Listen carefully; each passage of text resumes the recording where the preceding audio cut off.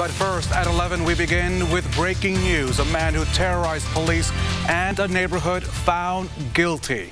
A jury found that Damoine Wilcoxson guilty of two counts of attempted murder and one count of criminal recklessness.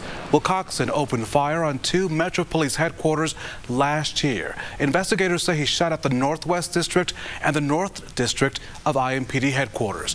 No officers were injured, but in a separate case, Wilcoxson is accused of murdering a man in Zionsville in Boone County. That case set to go on trial in March.